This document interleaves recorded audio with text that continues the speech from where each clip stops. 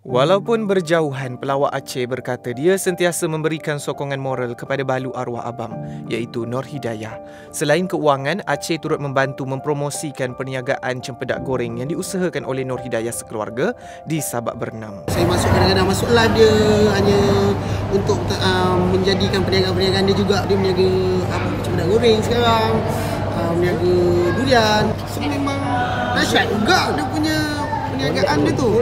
Dari sudut kita tak sedap lah kita nak berniaga eh, kita just setiap bulan kita ada bagi amount bagi amount so itu satu benda. Satu benda lagi dia ni buat bisnes apa kita boleh bantu eh? So kita mempromosikan sekali lah. Dari jauh-jauh lah.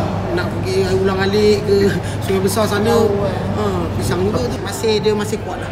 Dia masih kuat uh, pada saya dan Fat kalau saya dengan Fat berjumpa setiap kali saya berjumpa benda yang pertama kita sedekah fatihah dulu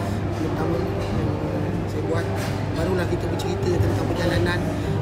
Setiap kali cerita perjalanan mesti ada cerita imbau benda-benda yang lepas uh, tentang ni dan uh, saya tak banyak nak minta kalau pada semua uh, masyarakat Malaysia ataupun yang di luar sana doa terus doakan dia lah. Sebut pasal carrier, adakah kumpulan bocek akan diteruskan atau akan ada perubahan serta kemasukan ahli baru? Fat dia sekarang tengah set up dia punya uh, streaming So dia punya streaming Di samping tu kita dah rangka Saya dan Fat dah rangka sebenarnya Perjalanan untuk program uh, YouTube channel dan juga Facebook channel lah.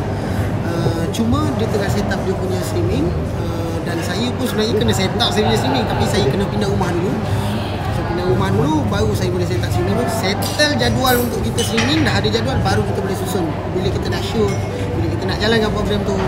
Dan program itu bila dapat dia punya duit dia tu so kita ada ada portion uh, terhadap uh, arwah